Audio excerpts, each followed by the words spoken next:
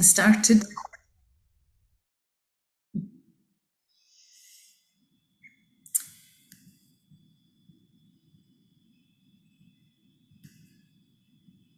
Just give it another couple of minutes, just letting everyone in.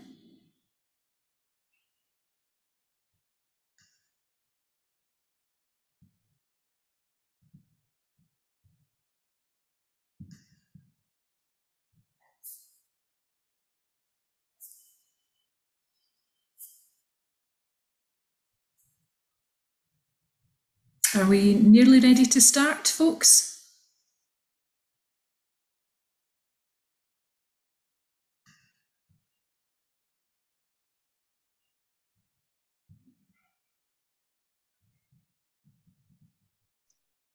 Yes, we're ready to start, Jane.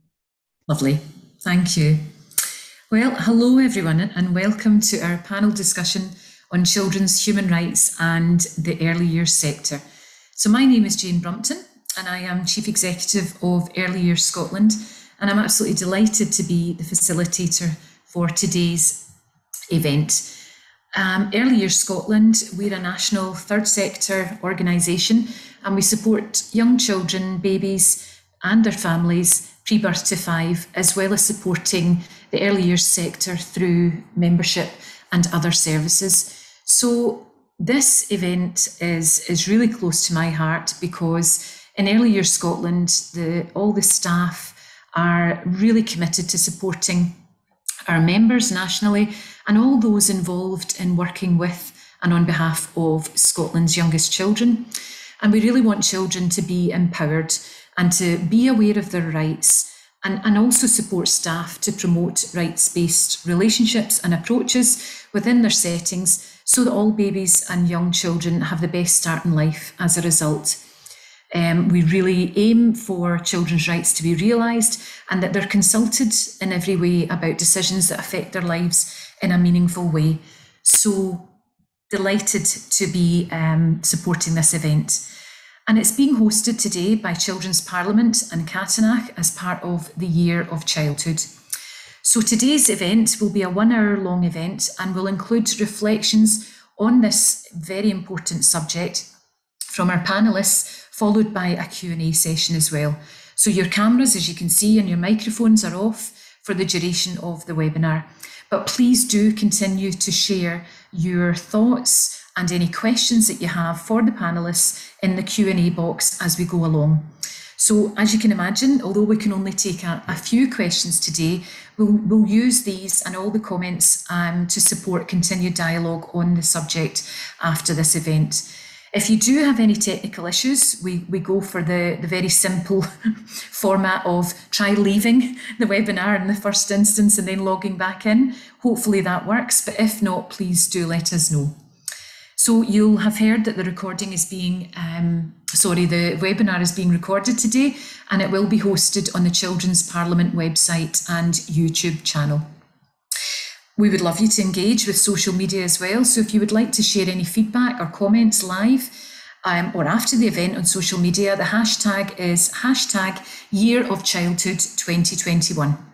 So why is this event happening today? As I'm sure many of you are aware, on the 16th of March, MSPs voted unanimously to make children's rights as outlined in the, the United Nations Convention on the Rights of the Child law in Scotland.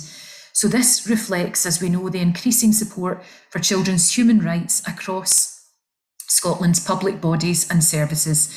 But what does that mean for those of us um, today? I'm sure many of you are from the early years sector. What does that mean to us? So this will be the second of three discussions that we host on this topic. And the aim of these events is to bring together stakeholders in early years to discuss how human rights can be promoted developed and embedded in practice. And I think that's the, the key part, isn't it? How do we meaningfully embed this in our practice? So, the focus in this discussion will be understanding how children's rights can be incorporated into practice in the early years. Unfortunately, our speakers from Calderbridge Primary School that was on the original agenda, they're unable to make it today. However, don't be don't despair. We still have two fabulous speakers joining us for today's panel, and we'll hear from them shortly. So I would just like to introduce who we have today. Our first speaker will be Sarah Laing, and Sarah is the Senior Practitioner at Innerwick Early Years Setting in East Lothian. She's been researching and developing child's voice practice and theory alongside her colleagues since 2013. And Sarah's research project for the BA in Childhood Practice degree focused on listening to children and how best to enable them to participate meaningfully in decision making. A form of rights based practice called Map Do Review evolved from that research and has been developed and refined since that time. Sarah has shared this approach through workshops, presentations, and tours of the setting. In 2019, the Scottish Government ELC Innovation Award was awarded to the team, and MAP Do Review went through further quality improvement with Sarah leading on that project. Then we're going to have our second speaker today, that is Dr. Lynn McNair. And Dr. McNair is head of Cowgate Under 5 Centre in Edinburgh and is a lecturer in early childhood and Froebel Research Fellow at the University of Edinburgh. Lynn has more than 40 years' experience working in early years education and was awarded an OBE for services to early education in 2009. Lynn is a trained Froebelian, attaining her certificate at the Froebel Institute, Roehampton University in London. Lynn is also the programme director for Froebel in Childhood Practice uh, at the University U of E, sorry, um, course and is the pathway coordinator of the newly developed MSc in Education Early Childhood Practice in Froebel. Lynn regularly travels the globe, sharing her knowledge on these principles and philosophies, and she's well published and is an award winning author. Finally, Lynn would say her passion for egalitarianism, emancipation, democracy, and a belief that children are rich, active, resourceful beings came from being a mother to Kurt and Misha and what she learned as she had observed them playing freely as children. This way of being with children, trusting them in them and their abilities and capabilities, is where she puts her energy into her work with children today. So I'm sure you will be delighted to hear from both speakers, and I have great delight in handing over to Sarah for our first input. Thank you, Sarah. Um, hello, everybody. I hope you can see me. Can I be seen? Yes. Yes. Okay. Sorry. Mm-hmm. Um, hi, everybody. Um, I'm just going to about to share my screen with you, but just to say I'm delighted to be here and um, to share our practice that we have been developing at Innerwick Early Years. And I will just share the screen. So um, hopefully that can be seen. So um, I am the senior practitioner at Innerwick Early Years Setting in East Lothian.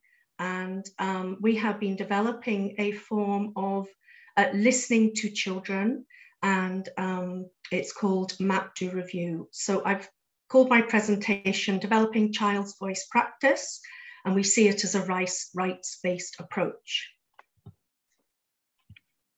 Ooh. I'm trying to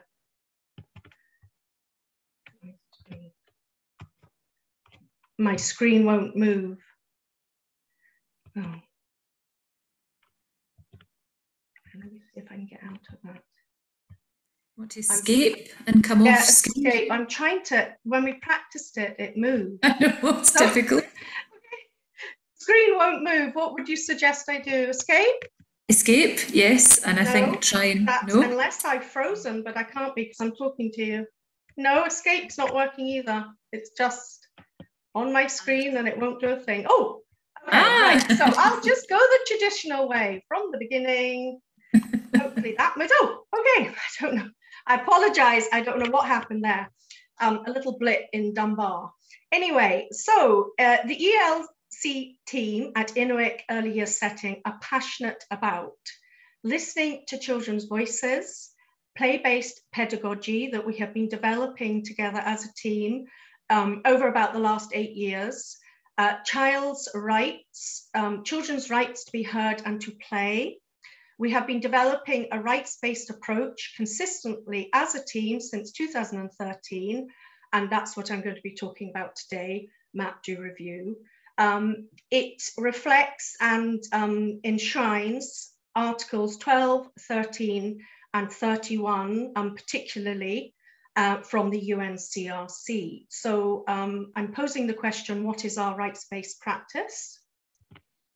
Map Do Review is a form of participatory practice which enables children to be heard on a daily basis. It supports young children to talk about their play and to act upon their own intentions. The process starts each year with children creating a map together. The um, map is, sorry, this box is in the way move that box over there. Sorry, my, my box of myself was in the way of the text. I do apologize. The map is made from children's own photos of favorite play areas. So we start the process off with the children touring the setting. They have the, the camera themselves and they're clicking away. And um, so to us, we see this as a form of voice. This is one of their many voices. Practitioners support the process, but children very much lead the map making. And here are two children making um, this year's map. So the map is a representation of the learning environment inside and outside. The map is put on display and throughout the year, children engage as and when they wish. A cycle of engagement takes place and is repeated many times over a full year. However, this depends on each child's use of the method.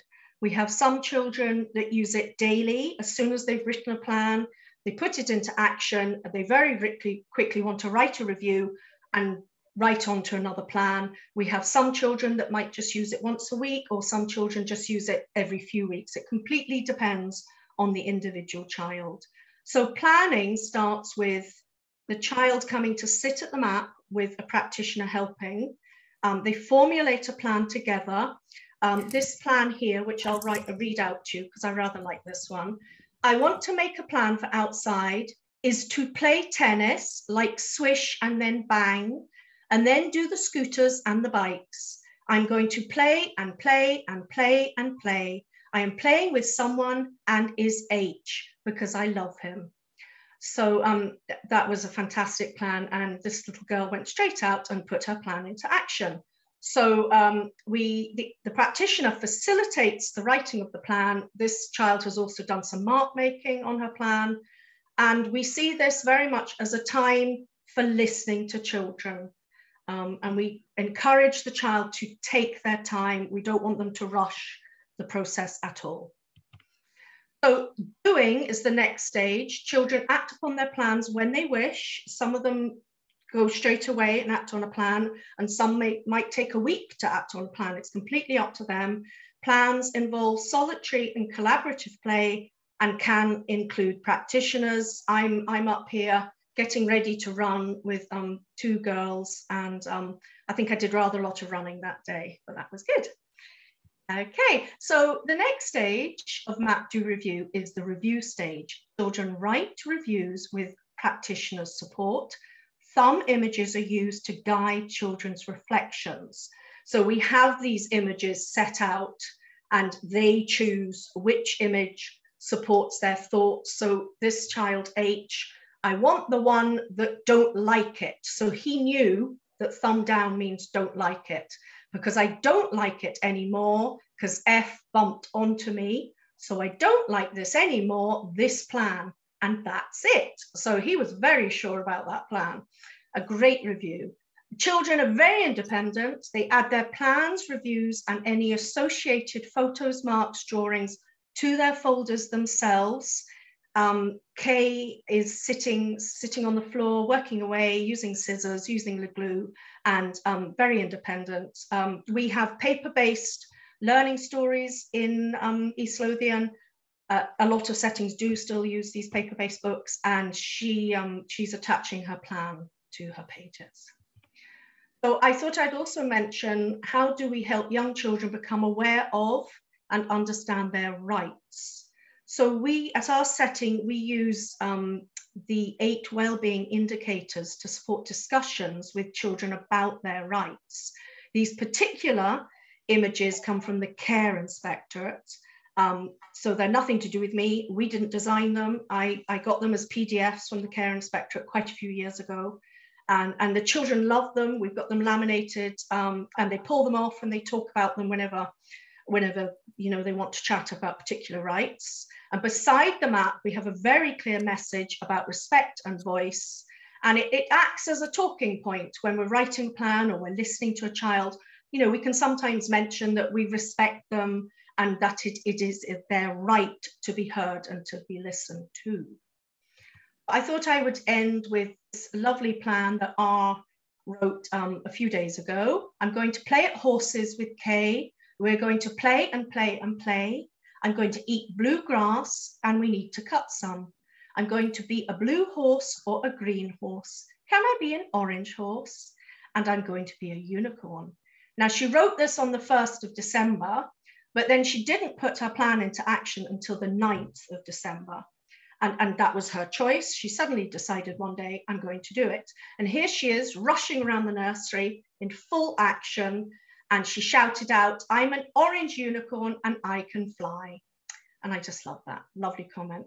Um, I've got my information down at the bottom there. Um, if anybody needs any more information, um, you're very willing, welcome to um, write to me. I've got various things that I could share, PowerPoints and such.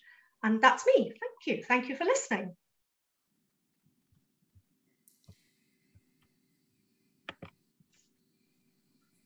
Thank you, Sarah. That was so interesting. I just I wanted to hear more and I wanted to see more of the, the images as well. I um, really, really appreciate that. And I see there's requests for access to your PowerPoint. So I think more people want to take time to digest that. But I loved one of the quotes when you said that children act on their plans when they wish.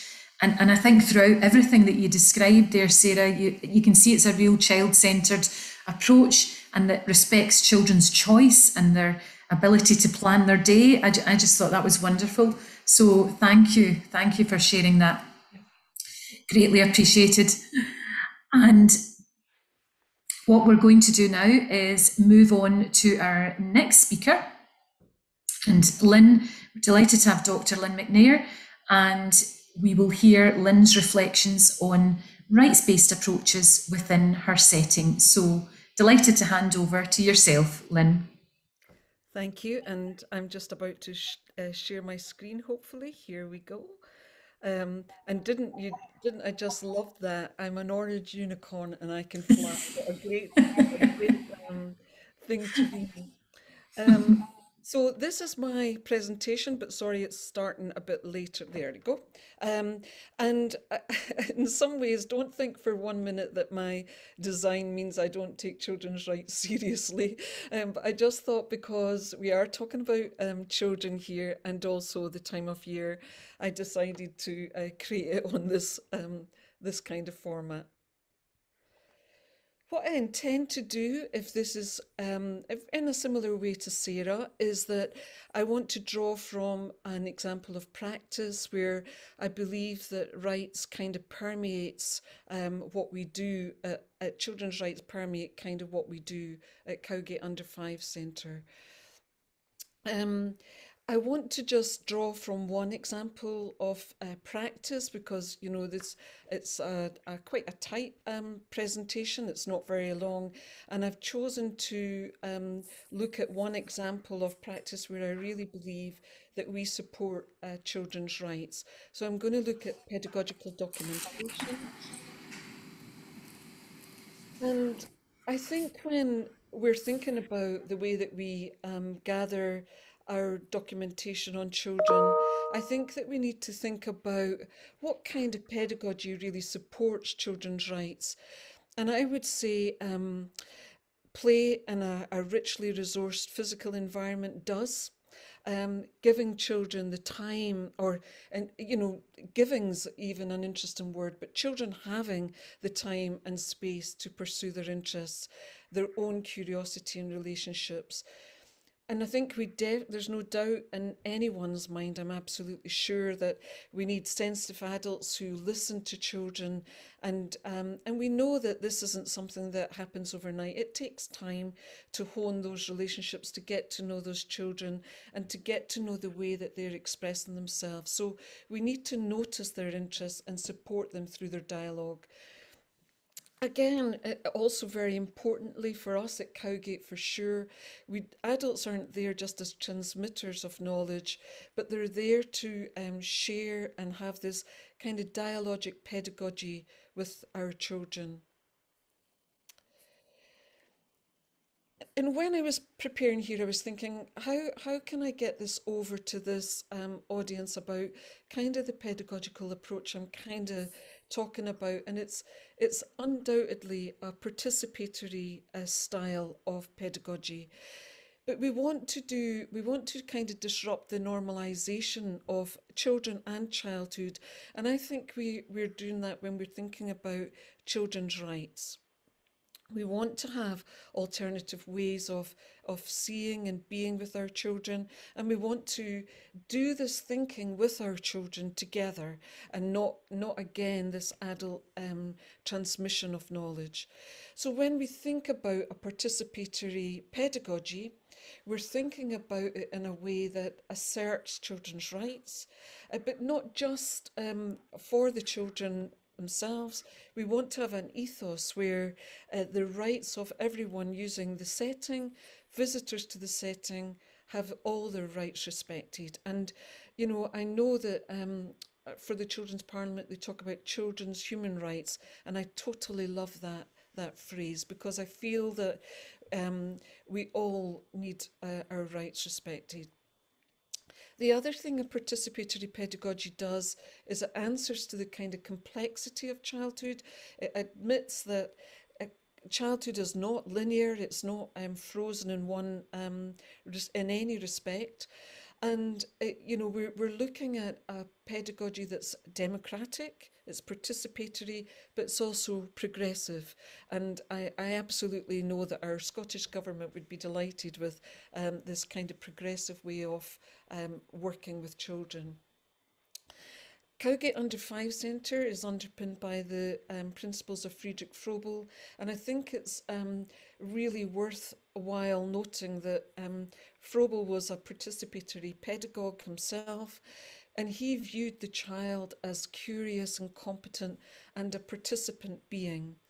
And he also argued that um, it was really critical that we listened to children, we documented and attuned um, their learning, but it was also about uh, providing companionship with children.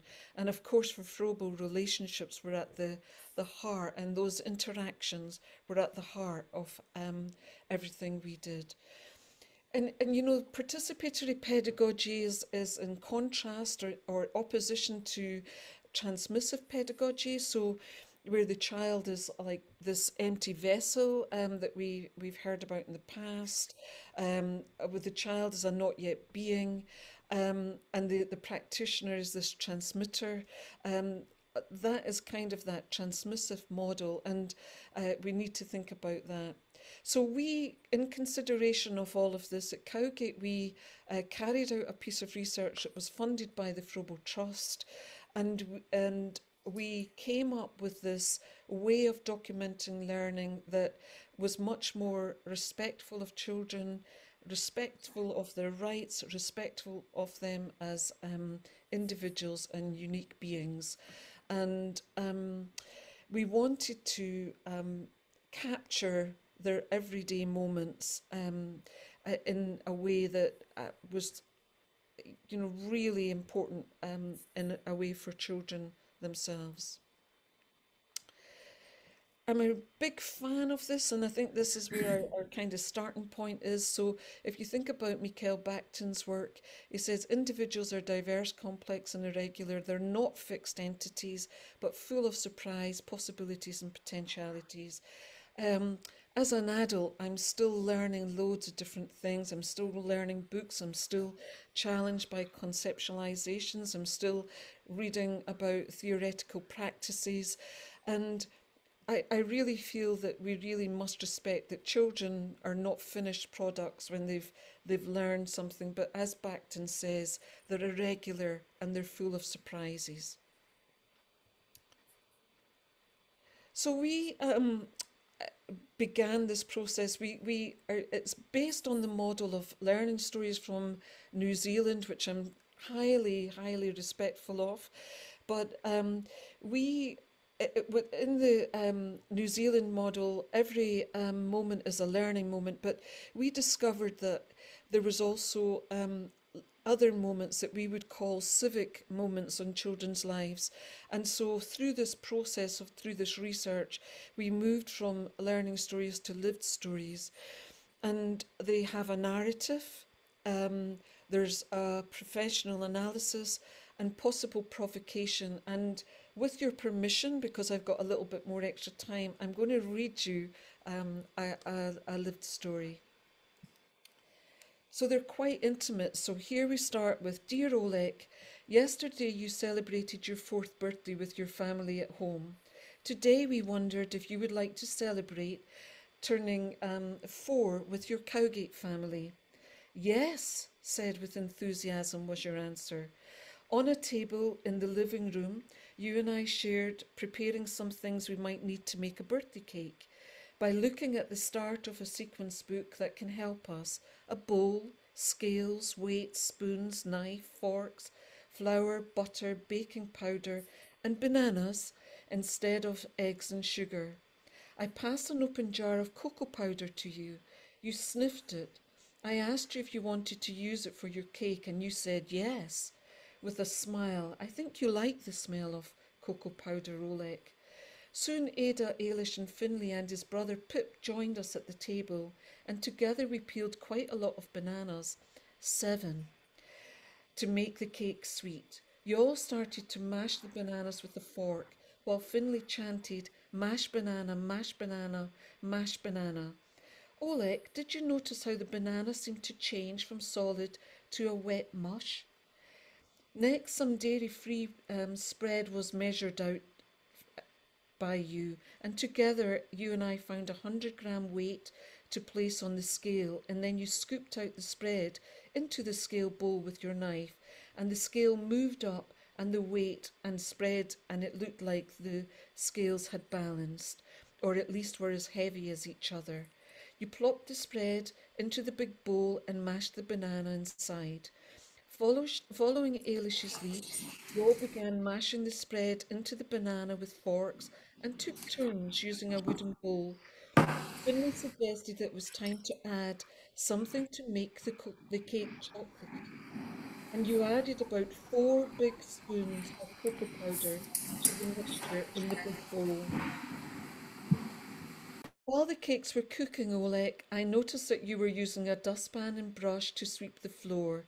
And it goes on to um, explain how he really does like um, cleaning the flour from under the table. And his friends joined him and he, um, he uh, was very much involved in the process. And um, Ailish offers him candles to put on his cake and suggests that there are four, and this is all written in a very uh, lovely, inclusive way. Um, and then um, we uh, he shares his um, birthday cake with others in a very kind of inclusive way. Now, the story here isn't necessarily about the uh, birthday cake um, creation itself, but the way that um, Oleg is in complete control of um, the recording of this um, making of this birthday cake. Then the um, the member of staff who is writing the the story, this lovely um, story, writes about um, her uh, potential professional analysis of the learning that has taken place, and and again, it's a very, very inclusive opportunity for Oleg to participate in this um, uh, uh, um, lived story. And then um, the member of staff comes up at the end and, and suggests a possible provocation because Oleg um, really loves um, making chocolate crispies and, um, and other experiences with food. And so um, we always call this a possible provocation and not a next step so that um, Oleg has the opportunity to select and choose whatever he would like to do to um, enhance his learning and his uh, knowledge. So in all these lived stories, um, children kind of articulate and reflect on their own experiences. They inform um, the, the follow-up questions that can deepen the story. Um, and the, nar the narratives, as you can see, are very personal. They're written to him. And um, members of uh, whoever's writing them writes uh, love at the end. So there's this real, very personal, very intimate um, story that's written about the child. So this this isn't about um, recording on a, a homogenous kind of experience for the child. This is very, very um, much, very much related to this particular individual, unique child. Um, as said, these are very intimate um, stories, and there is no way that you could argue that this person doesn't know this child very well. And these stories are, of course, shared with the children, and the children get to add um, whatever they choose to to the story because we might have got it wrong. Um, and also when they're uploaded the parent then adds to them and shares it with the child and adds parts to it which also informs us about how um, the child was um, how the child responded to it. So Oleg um, which I never said earlier uh, both parents have um, their, their first language is in English and it's from two very different countries. And Oleg at the moment doesn't have um, a lot of English. Um, I don't think it will take very long before he does. But children make their own meaning of these stories, which is really important.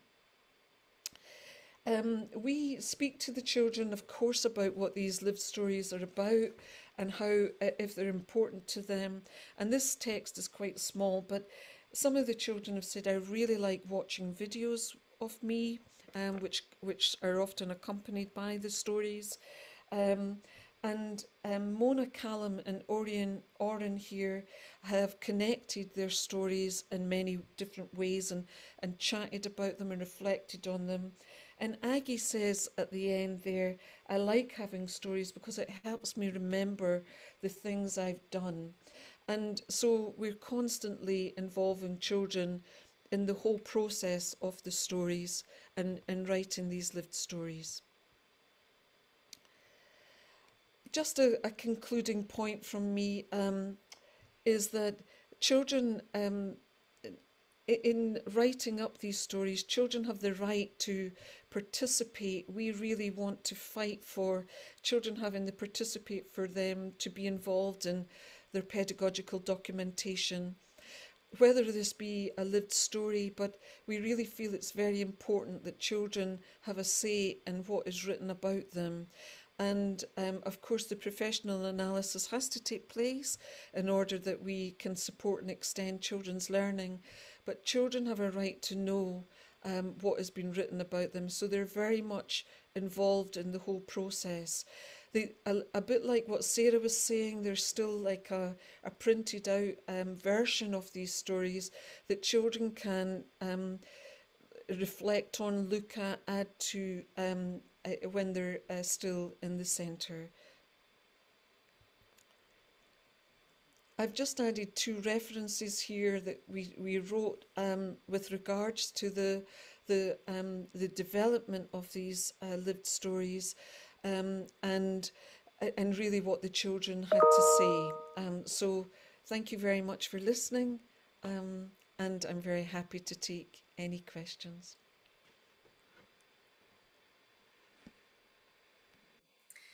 Thank you, Lynn. That was, that was fabulous as well.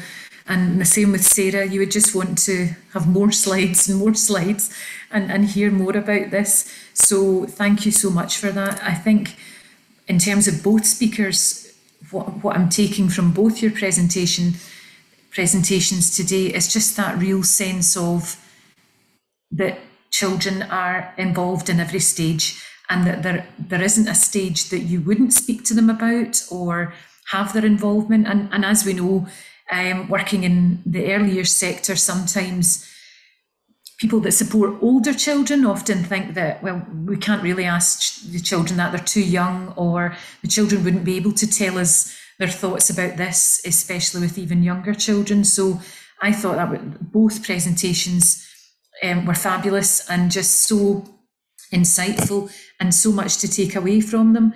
And in terms of just listening to yours there, Lynn, I was thinking, I loved the fact that you said children are not finished products. They're irregular and full of surprises. I love that. I think that's something I'll definitely share. And I think that comes across in, in your presentation. And when you reflect on the New Zealand curriculum as well, and and, and the lived stories. I think that is wonderful. And the fact that you revisit the stories with the children because they, they do perhaps forget things, but then they want to add to them. But the fact that you then involve the parents and you involve the children again and the staff, and just that essence of the children have a right to know what's been written about them. So I think that came through really strongly in both presentations that children's human rights are at the heart of of the practice in in both of your settings and i think there's so many different ideas that i'm sure the participants here today can take away things that they can think i think i'll try and replicate that but i hope as well um, in terms of early years practitioners um, that are listening today i hope you you can see your own practice within that because sometimes you forget that you are doing this. You maybe don't label it as children's rights and right based rights based approaches and maybe that that was part of your your journey too and your exploration with your staff teams you know auditing what do we do well already and how how best we improve so thank you both. Excellent presentations. And i'm going to move on now to some questions from the delegates. So the first question i've got here is how what support uh, sorry, how is the professional analysis shared um, or understood by the child? So I know you reflected on that, Lynn, um, within your presentation. So if I could come to you first and then maybe come to Sarah, but how is that an- analysis shared? And that links back to what we're saying in terms of maybe presuming that children might not fully understand something. So was that difficult within your journey? Can I can I go back to one little bit? I think that um, we share the, the professional analysis not only with the children but also with other practitioners in order to ensure that um, we we we have a briefing every morning, and we bring up amongst other things a, a, a recent lived story that someone has just written, and then we we talk about that. Now, that means that everybody is aware of the, the story, but also aware of the possible provocation that might emerge. So it may be that because we don't only um, write about, we, we don't only write about um, our, our own key children, we write about any child. So it may be that a child is in the garden, you might not be in the garden. So it's really important that everybody has um, insight into um, what this child is doing, this little engineering thing they're doing with piping or, you know, whatever's happening. Um, and when we're writing the story with the children, we um, we sometimes we, we say to them, "Oh, I've just written a story. Can I read it to you?" Sometimes they will say no, like some of them, like, "No, I'm not interested." But other times they're really interested in what what's going on we discover really that our parents are really, really engaged. Um, so, and we write that up in our newsletters as well. So, parents will um, inform us of um, when we put up a lived story that's been shared with the children and we think it's uh, you know an accurate account of what happened you know parents will often come back and tell us something else that's mm-hmm. that adds to it. And then we can go back to the parents. So there's this lovely iterative process of the stories being shared with the child both in the, the centre and also at home. That is wonderful. Thank you. You can really you can really hear that coming through your presentation. Um, there are other questions coming in so rather than um, continue with that one if i can come to you.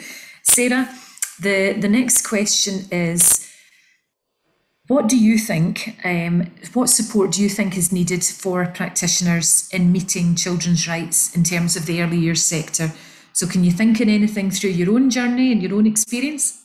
I, I can. Um, uh, when we were awarded the Innovation Early Years Innovation Award, part of um, being presented with that award was actually being asked to do a whole year's research project and one of the um, areas that we wanted to look at was developing um, practitioners' confidence, mm-hmm. listening to children.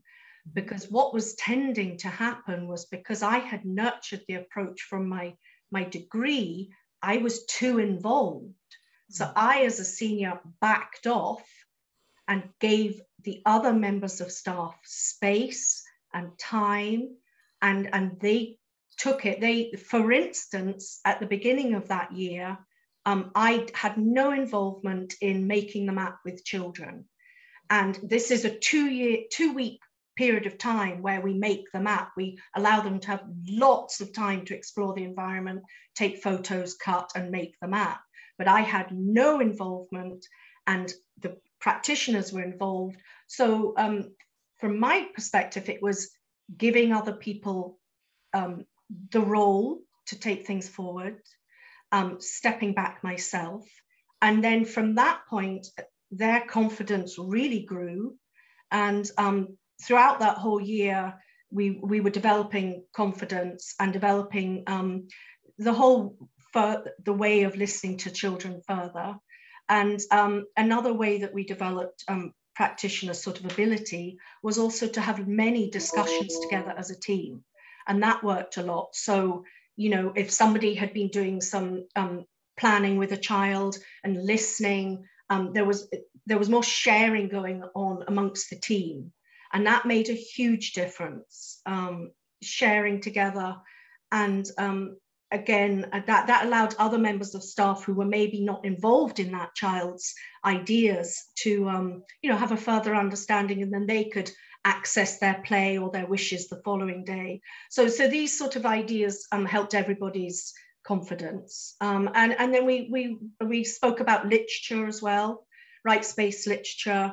Um, yeah, I, I, can't really think of a whole lot more, but over a whole year, everybody did develop their practice. And, and we had someone at the end saying that, you know, she'd learnt an awful lot and now she absolutely adored using the map um, with the children. And at the beginning of the year, she had been the least the least confident. So it's so you know it worked whatever we did. That's excellent. Thank you. Some really helpful tips in there. Um, thank you both. And another question for you is that you've both clearly been working on embedding children's rights in early years for many years now. So before the UNCRC, UNCRC was being incorporated into law, what inspired you to embrace and embed children's human rights? So if I go back to, to Lynn, um, yeah. before all of this, what, yeah. what inspired you? I, I think when um, you're absolutely right, I think for me, certainly something that um, was really important. I, I think it's been important all my life as a, a practitioner, if I'm honest. I think that um, I've always questioned adults' power and I kind of have always, you know, I remember um, we we uh, were an investing in children organisation that the, the, we got the an award for for that, and one of the the fundamental uh, statements there is that adults are not always right, and and I just love that because. Um, you know, if you came to Cowgate, you know, children um, walk in the office, they pick up the phone. You know, if the phone rings and you're typing away, you can say to the child, Would you mind getting that? And of course, they think it's their mother or their granny. But, um, you know, and they're really, because it's, it, it's as much their environment as it is ours. And I kind of feel that. So, so back to the question, sorry, I think that it's something you really feel fundamentally inside. I think it's something that's um, I, I really believe that um, you know children are exactly like us, just smaller, and uh, sometimes they've got more better experiences of um, childhood than us because we've sometimes forgotten ours. So they're the experts on childhood, and we might be the experts on something else. But I feel that we need to always remember that they bring so very much to um, each experience, and I think it's always worth having that dialogue with them. Absolutely, thank you. I think that that's um, spot on, and I think you're right. It has to, you know, you have to have that desire to take that forward, and and that's then communicated across the staff team. I love the the answering the phone. Could you get that? Um, so next question. You know, lots of questions. I'm not sure we'll get through them all, but I'll maybe pose this one to yourself now, Sarah. And um, do you think that the increase to 1140 hours has impacted or may impact on practitioners' ability to, to meet children's rights? Do you think, do you see it having an impact? Um, or do you think that no, it's, it's still, it's not impacting on your practice? Well, I'll, I'll just talk from a personal point of view. Um, in our setting, we've already changed our practice with, with the map um, completely because of the 1140 hours. We used to create one map every year, and in that one map was an area for the outside space at the top and an area for the inside space. But purely from our, our observations of children um, and the way they played with, with the increased hours, we were noticing that all their plans, just about all their plans, were being written about outside play. Mm-hmm. Um, and so we adapted our approach. And this year, we've got two maps and a massive map for just the outside space um, with really big photos. We've gone for big photos. And then the inside space, um, because there are probably more areas really inside, we've gone for little photos. But just the fact that we changed our practice because of the 1140 hours from seeing seeing their play. So um you know for us them using the map talking about their play um that's to us is our way that we see their rights and their rights to have a voice. So so yes for us it, it that was a really positive really positive outcome. And they loved the big map. And they still write more ma- more plans about being outside than inside. So yeah that so for us it's been very positive. Yeah. Excellent. Thanks. that's good way of seeing it. Thank you sarah. Um, the next question lynn if that's okay. With regard to um, doing the lived stories and the narrative around that quite a pertinent question, which can be um, challenging for early years practitioners, is maybe the, the, the, workload and the paperwork. So, how frequently, you've maybe been asked this before, how frequently would, um, for example, the stories be written up? Because obviously there's some anxieties and challenges around bureaucracy and paperwork and just that potentially taking you away from the floor and, and engaging with children. So you must have mastered a way around that, I'm sure. Yeah, the one thing we do is that we we've as a, a leadership team or management team, we've um, I, I don't know how to say it, but give the the staff have got this hour and a half out the, the room every week. Now they can choose to do that um, actually at home if they wish to do that, or they can do it with in the nursery and upload it then. So there's there's the opportunity for them to um, you know do and and back to uh, quality or quantity it mm-hmm. often is just one story a week perhaps that um, okay. people write um, and we don't we don't there's no blame game so if there's a child that maybe hasn't had one we don't say oh why has a child not had one we all sit down and and genuinely ask that question why has nobody found anything to write on george this week mm-hmm. or or not this week probably, but you know, not not written on George. So we're asking ourselves those questions in a very professional manner. It's a non-blame game. It's about um, just exploring why nobody has actually noticed George, um, yes. and rather than blaming. So I, I totally agree with um, the questioner um, that it can be an arduous process, of course, because they're quite lengthy, but they're they're really worthwhile. And most of them will be individual ones, but some will be a group one. Um, so, you know, it might be that they've gone on a trip somewhere and it's maybe ended up being a little bit of a group one. Um, but they are abs- we've carved out that time and that is their precious time for doing that and and I think that that really works um, so it means that we totally value it and uh, that process and also respect that this is people's uh, the practitioners time they would not need to feel um, guilty or anything about not being in the playroom with the children because we've got it all worked out within um, the shift patterns. That's wonderful. That's really, really helpful. There'll be a lot of people hoping to introduce a plan like that because it is so difficult um, to get time and space within early years, isn't it, when you're um, with the children for long periods of time. So that sounds like a really good and sensible approach. Um, I'm going to take one of my last questions, um, and it is quite interested in it as well. So if I maybe go back to Sarah, if that's okay. So a question has come in saying, do you formally introduce the concept of rights with children at the start of the year? You know, for your new intake, etc. Do you do you do that in a formal way, or do you do it in a very through child-centred practice through your pedagogy? It's I wouldn't say formally. It's probably more drip-fed throughout the whole year. There are various things we will do with them. We have the um, the image beside the map. Um, I think it's sorry, I'll just hold this little thing up there. It's it's that care inspector image. Um, we also have them as sticks. But um, so they love these images, the children. They're fascinated by them. And, and the images come into their talk all day. And so naturally, through their interest, we talk about the images and we, um, the one about nurtured, you know, we'll mention that that's about the care and the love you need to have and that it is your right to have this care and love. So through our conversation with these lovely images, um, we bring in the word right to them. And, you know, when we're talking about we are listening now, I want to listen to you, we very often say, you know, this is your right. It's really important to us.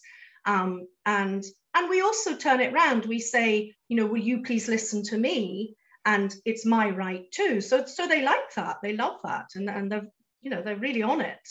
Um, I, yeah, uh, there's another thing. There's a there's a wonderful book, if I'm allowed to show it, for every child.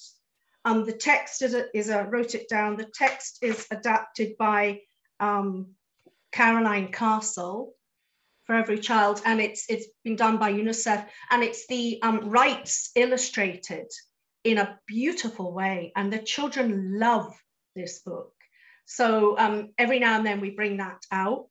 Um, for instance, we were having a conversation about play, and I have just written it down the other day, and we spoke about, you know, Article 31 and what he meant, it meant, looked at the beautiful illustrations, and one little girl said, um, you know, I know what it is.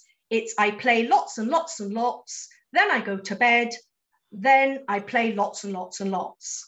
So, you know, she's got it. Um, so really, it's throughout the whole year we're bringing into our conversations, you know, respect, listening, rights. We probably don't formalize it by saying Article 12, but it's just more through our conversation. Yeah, I hope that helps. that really does. Thank you, Sarah, and, and thank you, Lynn. Both um, excellent presentations, and I'm sure the participants will have got a lot out of that because I know I did as well. Can I ask your permission, Lynn and Sarah? Can we share presentations? There's been lots of requests coming in to have a copy. Is that okay for us to have permission to do that? Wonderful. Well, the final um, part of today's session, I just want to take this opportunity to encourage you all to sign up as an Unfearty if you are not already. So, as many of you will have heard the term and seen the campaigns around this, unfearties are people who are courageous in discussing children's issues and children's rights and are making a difference in children's lives and who are willing to speak up for and stand alongside children. And we've clearly heard that today as well. So before I finish up, I would like you in the Q&A box, can you share one thing that you feel you will take away from today's event? Just one thing that you think you will proactively do or share or take away. We would love to hear from you. And after today, Children's Parliament will send you an email and they'll give you a link to the webpage for Unfearties and how you can sign up, details of the final webinar that's coming up for the session, and a link for the evaluation. And as we know, it's so important if you get a couple of minutes to try and complete this for us, it's always really helpful. So, thank you hugely for taking the time and space to attend today's event, and we really look forward to seeing you at our next conversation in this series on the 18th of January. And thank you once again to Lynn and Sarah. As I say, I'm sure we could have all have listened um, to you both for much longer, but it gives us a real snapshot of things that we can take forward in terms of how we really embed children's human rights in early years. And I think we all, I think we do that real, really well in early years in general. Um, so I'm sure there's there's a lot of collaborative working we could do with primary and other sectors too. But fabulous ideas from today. So thank you both so much, and thank you everyone who has been attending remotely, though we can't see you all. Um, thank you again.